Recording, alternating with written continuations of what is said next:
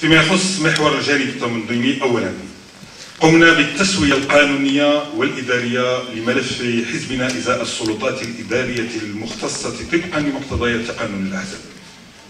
وقد حرصت أخواتي إخواني على الاحترام الدقيق لكل التعديلات التي جاءت والتي صادق عليها المؤتمر الوطني موقعة من طرف رئيس لجنة العدل والتشريع ومراقبة من طرف رئيس المؤتمر وقد سجلنا بافتخار ردود وزارة الداخلية التي اعتبرت بأن القانون الأساسي للحزب يحترم كل ضوابط القانون المنظم للأحزاب وجاءت هناك ملاحظات شكلية. سنعرضها عليكم وليعطوني آه، ونقرأ عليكم باش تعرفوا بأنه الأشياء واضحة. ثانيا شرعنا في إرساء الهياكل الحزبية الترابية. وفي هذا الصدد وكما سبقت الإشارة إلى ذلك أشرفت القيادة الحزبية بمعية المنسقين. على عقد مجالس جهوية بأربع جهات بالمملكة وهي جهة الدار البيضاء الكبرى جهة تاد الأزلال جهة طنجة تطوان جهة الشاوية ورديغة وقد وضعنا أجندة زمنية لانعقاد المجالس الجهوية المتبقية التي يجب أن تنهي مؤتمراتها الجهوية وتأسيس مجالسها الجهوية ومكاتبها الجهوية قبل متم يناير يونيو من هذه السنة.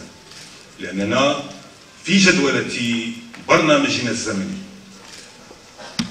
قلنا بأن كل الهياكل الحزبية بدون استثناء يجب أن يتم يتم تكوينها قبل ما تم 2013 بما فيها المنظمات الشبابية والمنظمات النسائية ومنظمات المنتخبين الجماعيين.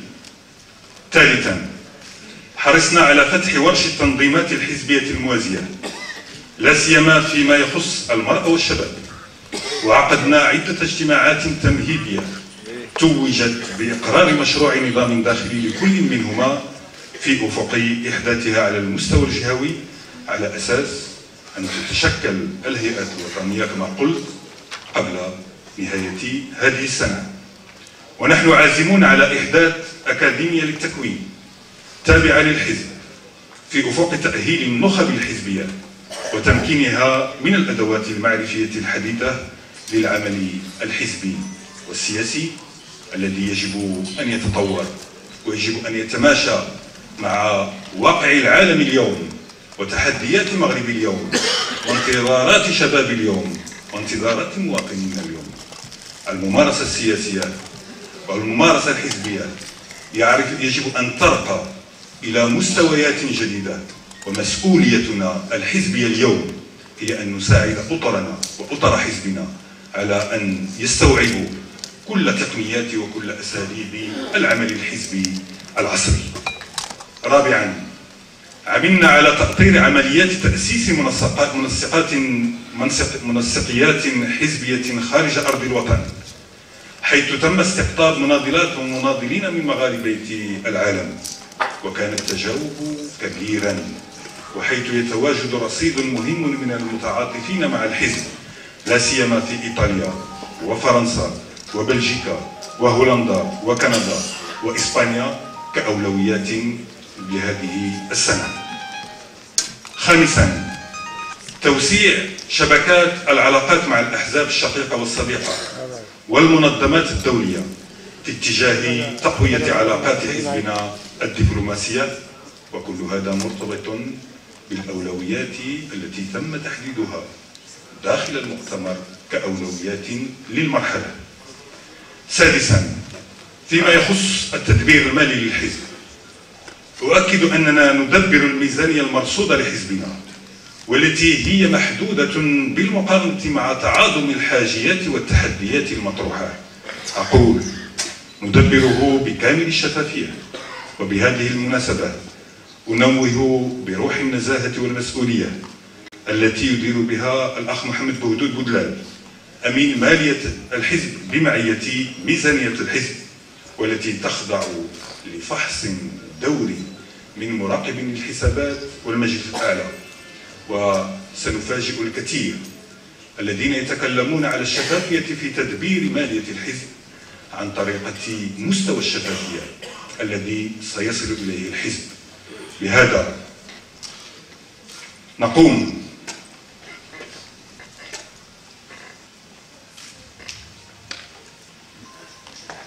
ولقد قررنا بهذه المناسبة في القيادة الحزبية تأسيسا على المقاربة الجبهوية التي نتبناها ودعما لنضال القرب. اعتماد نظام نظام تدبير جهوي مرن.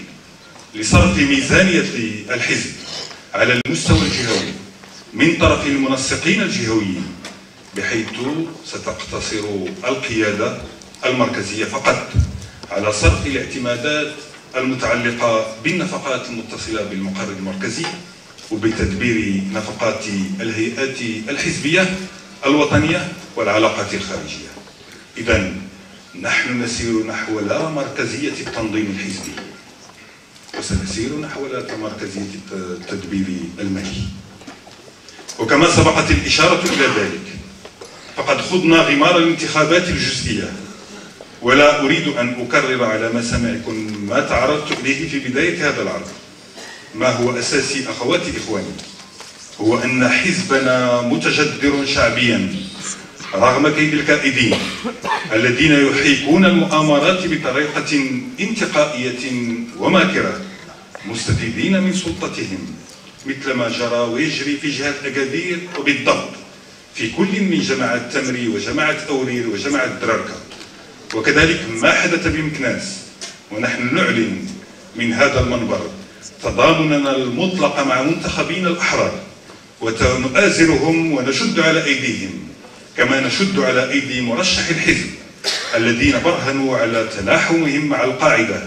بحصولهم على أصوات مشرفة ونحن دائما معهم وإلى جانبهم في نفس المركبة النضالية الحزبية التي تشق طريقها بإصرار نحو الأمل والنجاح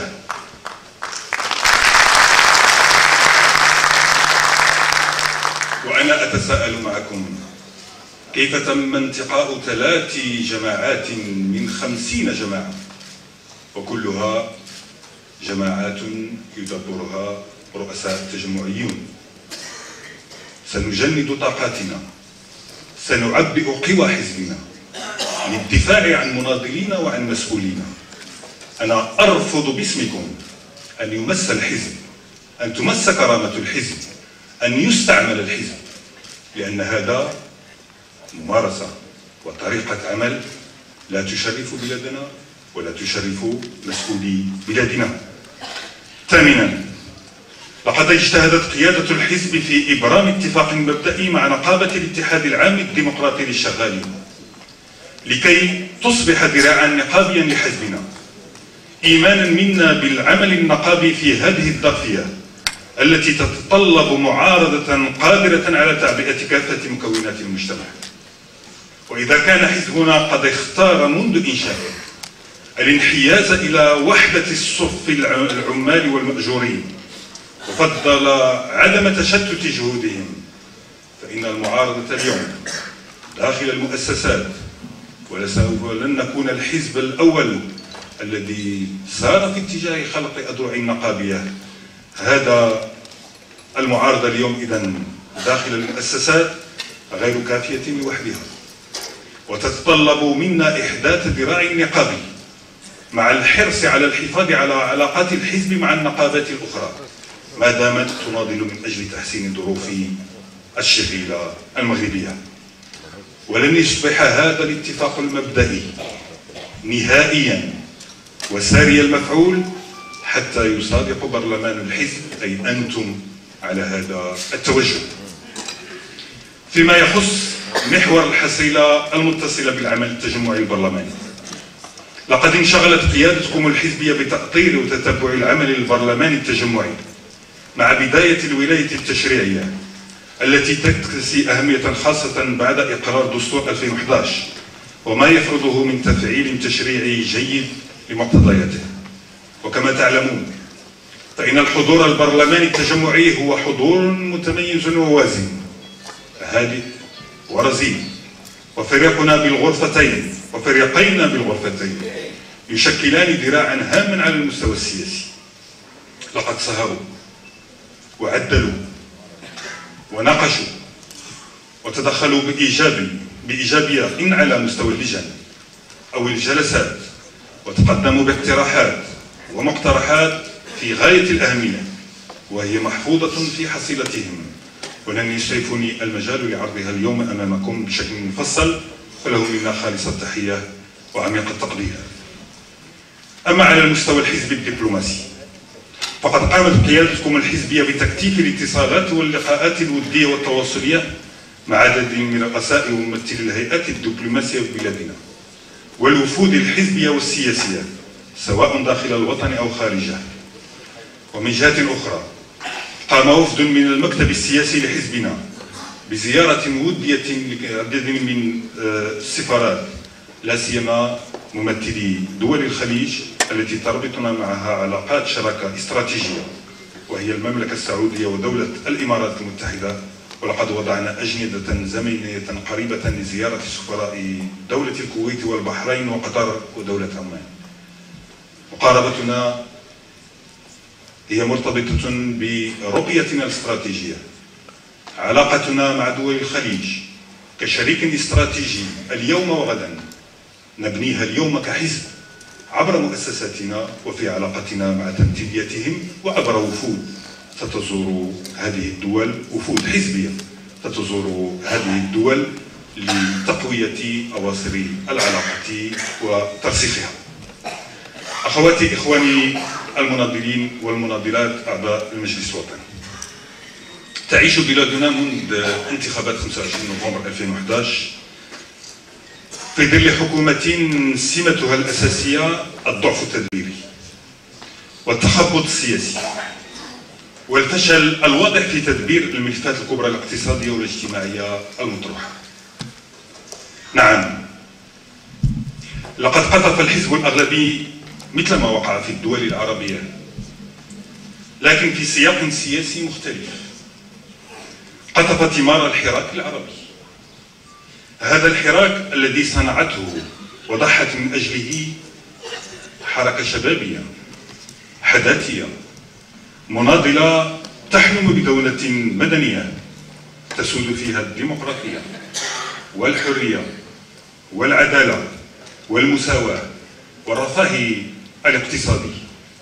ورغم احتلال هذا الحزب مركز الصدارة البرلمانية وتشكل الحكومة وشكل الحكومة وهيمن عليها مبتلعا الأحزاب المتحالفة معه ورغم استفادته من مقتضيات دستور تقدمي نوعي. أسس له الخطاب الملكي التاريخي ب 9 مارس 2011 والذي وفر إمكانيات دستورية هائلة لهذه الحكومة فقد أبانت عن فشل ذريع في تدبير قضايا الشأن العام وحاولت التغطية على ذلك بصراخها المتكرر بمحاربة الفساد لتحويل الأنظار عن عجزها التدبير المفتوح. وهكذا لم تستطع هذه الحكومة مواكبة الأوراش الإصلاحية المفتوحة من طرف الحكومة السابقة خلال العشرية الأخيرة تنفيذا للرؤية التنموية الملكية المتبصرة. ولم تتمكن من تفعيل مشاريع الإصلاح المسنودة بدراسات مضبوطة وبإمكانيات هائلة أنجزتها ووفرتها الحكومة السابقة. ولا هي تمكنت من إيجاد بدائل مبدعة ومدروسة للسياسات الحكومية السابقة التي استطاعت رغم صعوبة الظروف على الحفاظ على معدل نمو يقارب 5% والتحكم في التوازنات الأساسية للبلاد. وعملت الحكومات السابقة على مضاعفة الدخل الفردي في ظرف ثماني سنوات. وخلقت دينامية اقتصادية واستثمارية غير مسبوقة. وفرت أكثر من مليون وخمسمائة ألف منصب شغل. من طرف في ظرف عشر سنوات أي 150 ألف منصب شغل كل سنة. امتصت فيها البطالة تراجعت فيها البطالة تطورت فيها وتوسعت فيها الفئات المتوسطة. حاربنا الفقر وتراجع معدل الفقر إلى 8% متبصر في إطار استراتيجية واضحة بآليات واضحة بالقدرة على الوضوح على زرع الثقة على التنظيم التدبيري على تحديد الأولويات على تحديد الأهداف.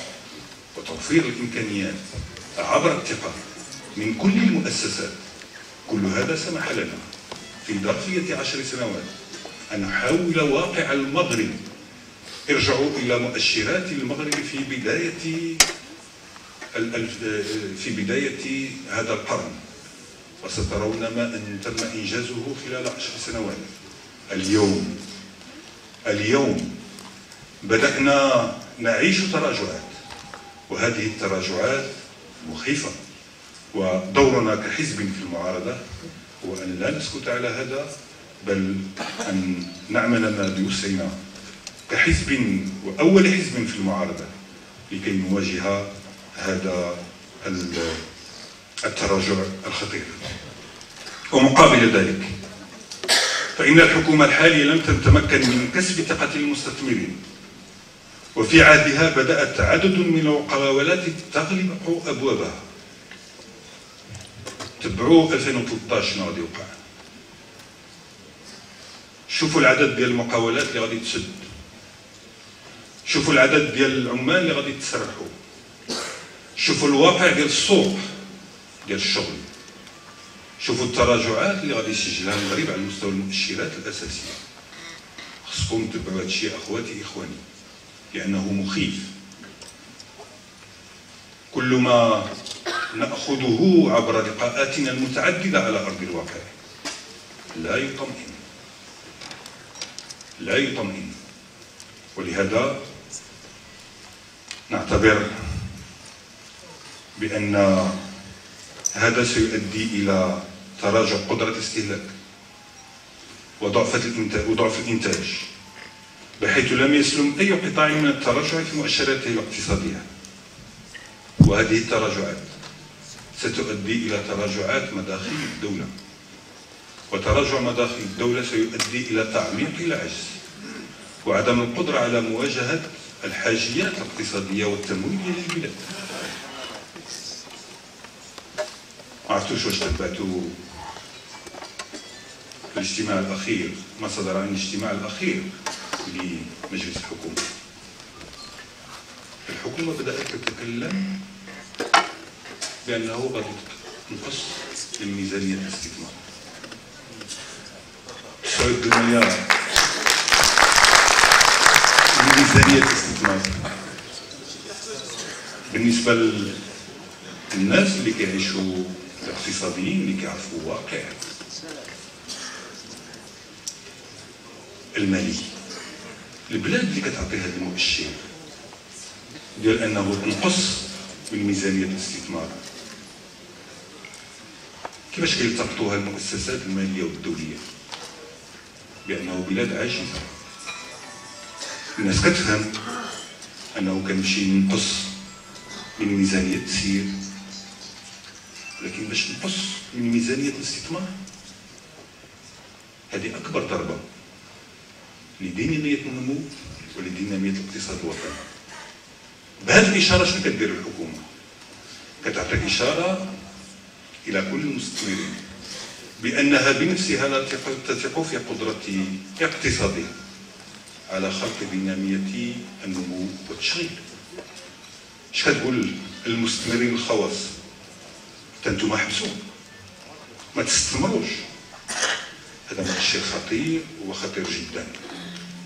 والمؤشر الثاني هو أن ما ستلتقطه مؤسسات التنقيب الدولي ومؤسسات المالية الدولية هو أن هذا التدبير ديال هذه البلاد ما غاديش في الاتجاه الحسن. في 2009 ملي انطلقت الأزمة المالية في نهاية 2008 كان عندنا اجتماع ديال صندوق النقد الدولي بتنزانيا. وكان عندي اجتماع مع المدير العام لصندوق النقد الدولي. قبل الاجتماع. وقلت له بالحرف أكيد أننا نعيش والدول الافريقيه ستعيش ظرفية صعبة بارتباط مع المؤشرات الأولى للأزمة المالية والاقتصادية. قلت له عرفتوا عرفتكم غادي تدخلوا لدى هذه الدول. ولكن كنطلب منك حاجة واحدة. كنطلب منك حاجة واحدة. أنكم ما تمسوش في ميزانيه الاستثمار ديال الدول. لأن القدرة على مواجهة المؤشرات الاجتماعية الخطيرة ما يمكنش تحلوها بضرب ميزانيه الاستثمار. هاد الدول انطلقات في دينامية نمو إيجابية. بدات كتمشي في الاتجاه ديال تحسين التوازنات الأساسية ديالها. وكنطلب منك باسم المغرب أنك ما تمسوش كصندوق النقد الدولي وما تدفعوش الدول أنها تمشي في اتجاه ديال الحذف أو التقليص من ميزانية الاستثمار. وذلك ما حدث.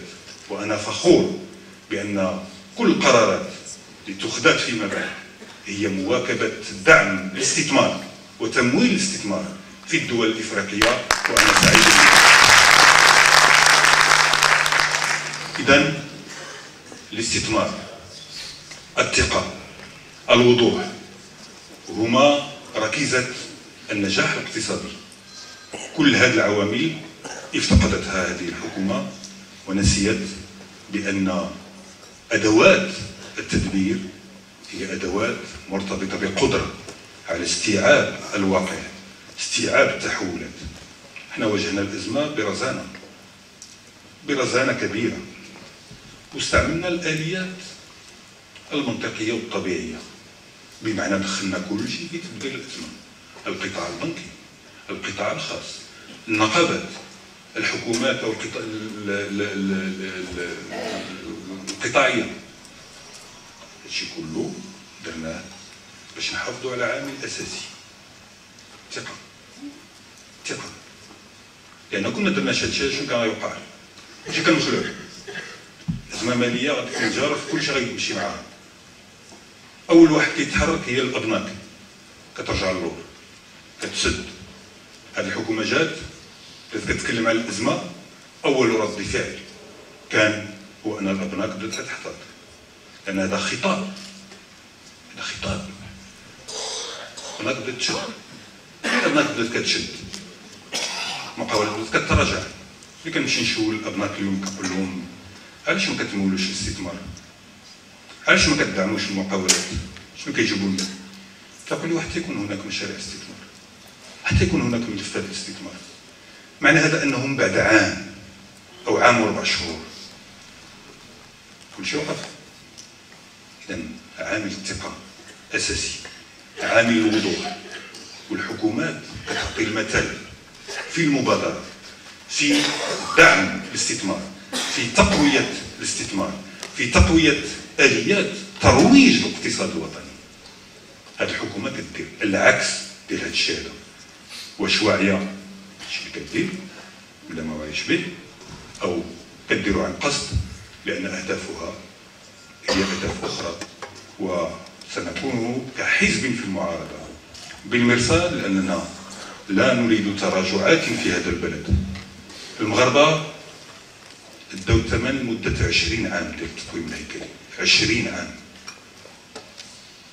واللي ادى الثمن ديالو شكون؟ الفئات الفقيرة والهشة. هادو اللي كيتكلموا عليها اليوم. كيقولوا بأنهم كيدافعوا عليها. التقويم الهيكلي باش وصلنا ذاك المؤشرات الخطيرة في نهاية التسعينات يعني مدة 20 عام ديال التقويم الهيكلي المغاربة مساكن؟ ما بقى عندهم كيفاش يديو ولادهم المدرسة؟ كيفاش يغطيو الصحة؟ كيفاش يستحقوا من الإمكانية ديال الرواج الاقتصادي؟ الشيء هذا ما بغيناش بلادنا. ما بغيناش بلادنا ترجع لهذا الشيء اليوم.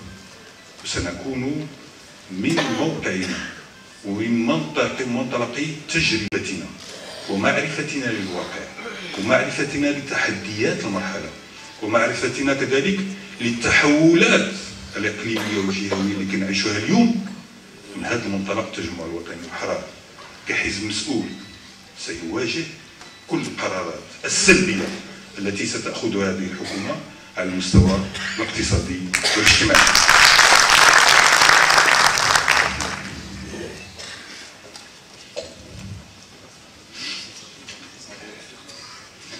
أما الاختلالات آه، في السياسات القطاعية وفي مقدمتها السياسات المرتبطة بتدبير وإصلاح مرافق القضاء والصحة والتعليم والحوارات فحدث ولا حرج. وهكذا. ها نحن نقترب من ساعة الحقيقة التي أصبحت تدق. فلا رؤية ولا استراتيجية ولا مقومات لتدبير الشأن العام ولا إجابات على انتظارات المواطنين ولا إجابات عن الإشكاليات والتحديات الاجتماعية المطروحة. لا تعرف هذه الحكومة كيف تتخذ القرارات الاقتصادية والاستراتيجية بالسرعة اللازمة. وفي الوقت المناسب في ظل عولمة متحركة سريعة جارفة وأما هروبها إلى الأمام عن طريق التشهير ونقل أزمتها إلى الآخر فلن يفيد البلاد في شيء ولن يشفع لها في تقديم الحساب للشعب. هذا الشعب اللي قالوا هما اللي جابوه هما اللي هو اللي جابهم هذا الشعب هو اللي غادي يحاسبهم. لقد كان خيارنا صائبا بالركون إلى المعارضة. وثبت وبالملموس على ضوء ما تعيشه الأغلبية من تجاذبات نقلت وقائعها تصريحات زعمائها أن قرارنا كان عين إن قرارنا كان عين الصواب وأن مشاركتنا في حكومة مفتقدة إلى الانسجام سواء من حيث المرجعية الفكرية أو البرنامج السياسي. كان سيضعنا أمام أزمة ضمير ويجعلنا في نظر ناخبين أشبه بحزب انتهازي لا يبحث سوى على المقاعد الحكومية ولا يحترم اختياراته السياسية وهويته الإيديولوجية التي على أساسها نافسنا الحزب الأغلبي في انتخابات نوفمبر 2011 لأننا تقدمنا للناخبين وللمغاربة وللرأي العام الوطني والدولي بعرض سياسي مغاير تماما لذلك الذي كان يحمله الحزب القائد للحكومة اليوم.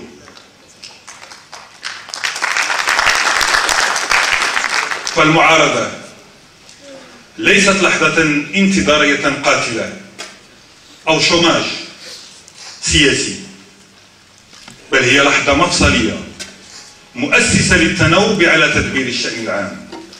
على أساس برامج وتحالفات متميزة من أجل عقلنة المشهد السياسي. وحزبنا ساهم من موقعه في سبيل تحقيق هذا الهدف النبيل ولحظة المعارضة مهمة أيضا لأنها ستمكن الحزب من إعادة بناء ذاته التنظيمية في أفق تحديد هياكله وانفتاحه على القوى الحية بالبلاد. كما أنها تعد استراحة محارب لأنها لحظة تأمل مع الذات الحزبية بهدف التهيئ للمحطات المقبلة بنفس جديد يؤهل الحزب لربح رهان قيادة الحكومة مستقبلا وتطبيق برنامجه السياسي الذي يعد محورا لتعاقده السياسي مع ناخبيه لا أن يظل الحزب مكملا للأغلبيات وسنرفض أن نكون حزبا مكملا للأغلبيات.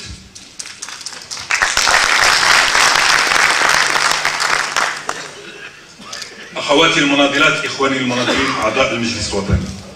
في ختام هذا العرض أريد أن أؤكد أمامكم ما يلي أولا إن حزبنا رقم صعب داخل المعادلة السياسية الوطنية. بفضل جهودكم وتعبئتكم ورص صفوفكم وبمواجهة مشروعكم الفكري. ولن تنال منه الضربات مهما بلغت قوتها ومكرها. وهو غير معروض للمزاد الانتهازي في جميع الظروف والأحوال. ثانيا إن حزبنا يتأسس على أرضية هوياتية وسطية اجتماعية صلبة وراسخة. من مسؤوليتنا جميعا الحفاظ عليها مع الحرص على تطويرها فكريا وسياسيا وتنظيميا. في جو يطبعه الوفاء. الوفاء لثوابت الحزب وتاريخه النضال المشرف الذي ساهمت فيه أجيال متعاقبة من المناضلات والمناضلين تحت لواء قيادات تاريخية متبصرة كانت وما زالت على العهد ثابتة متشبثة بمقدسات البلاد وثوابتها الراسخة. في ظل الشرعية الملكية الضامنة لوحدة بلادنا واستقرارها ونمائها وازدهارها.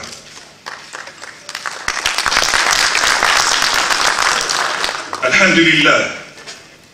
الحمد لله أن المغرب حاباه الله بملكية رمزها أمير المؤمنين الصاهر على وحدة المذهب المالكي والضامن للحريات وسير المؤسسات. لذلك فمن واجبنا جميعا من واجبنا جميعا تحسين الأداة الحزبية من المزايدات العقيمة والعمل على معالجة الجراحات الداخلية بالتي هي أحسن وجبر الخواطر وتحصين الجبهة الحزبية الداخلية والتركيز على ما يجمعنا لا على ما يفرقنا والتشبت المقدس بالوحدة والتوافق والتركيز على النقاش الفكري والترفع عن الشراع الشخصي. كل هذا يشكل شرطا لازما لتطوير عمل حزبنا وتوسيع نفوذه وإشعاعه وتجذره إننا أيتها الأخوات أيها الإخوان مطالبون بالاستعداد بل بالتعبئة المستمرة لخوض الاستحقاقات الانتخابية المقبلة محليا وجهويا ووطنيا. بما يليق بالسمعة التاريخية للتجمع وبطموحه باعتباره صمام أمن حزبي في خدمة المصالحة العليا للوطن تحت ظل العرش العلوي المجيد. وقد اعملوا فسير الله عملكم ورسوله والمؤمنون. صدق الله العظيم. والسلام عليكم ورحمة الله